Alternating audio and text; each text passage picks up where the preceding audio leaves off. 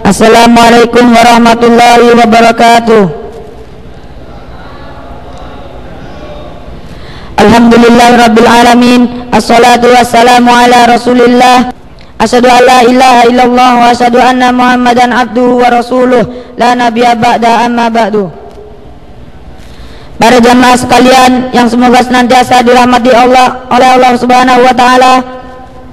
Berdirinya saya di sini akan membacakan dua hadis Nabi Shallallahu Alaihi Wasallam yang diriwayatkan oleh dua imam yaitu Imam Bukhari dan Imam Muslim. Yang pertama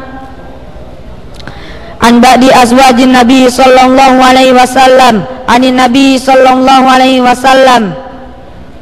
Qala man ata arrafan fasa'alahu an say'in lam, lam tuqbal lahu salat salatu arba'in lailah Rawahu Muslim dari sebagian Nabi dari sebagian istri Nabi Shallallahu Alaihi Wasallam dari Nabi Shallallahu Alaihi Wasallam beliau bersabda Barang siapa yang mendatangi tukang ramal lalu ia bertanya kepadanya tentang sesuatu maka sholatnya tidak akan diterima 40 malam.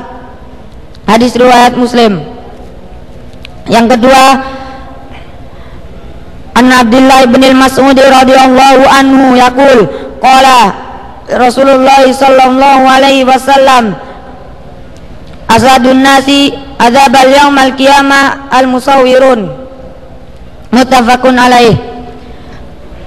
Dari Abdullah bin Mas'ud radhiyallahu anhu ia berkata Rasulullah sallallahu alaihi wasallam bersabda Sesungguhnya siksaan manusia yang paling berat pada hari kiamat adalah para tukang gambar.